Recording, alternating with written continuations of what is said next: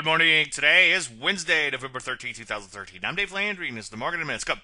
Well, Pizza did a whole lot yesterday. Sold off a little bit. Did recover to close off their worst levels. As I often preach, trading like life has to be taken one day at a time. And on Monday, things look a lot better than they look now. As you can see, market's kind of stalling out a little bit in here. And also, on a net-net basis, it hasn't made much forward progress in a couple of weeks. Let's take a look at that NASDAQ. It too kind of Flatsville on the day. As I've been saying, if it takes out Thursday's high, it could be off to the races. This also applies to the Qs. Unfortunately, that has to happen sooner rather than later. The longer it trades sideways in here, the less effective this signal will be. Some areas still remaining pretty solid uptrends. Other areas are starting to look a little bit questionable in here, so it's getting pretty mixed. So I think for the most part, I'd sit on my hands for now, let things shake out. For the aggressive, you might look to play an opening gap reversal. If you don't know what that is, get educated. See my website. Any questions, as usual, dave at davelandry.com. I'm Dave Landry, and you started Market a Minute.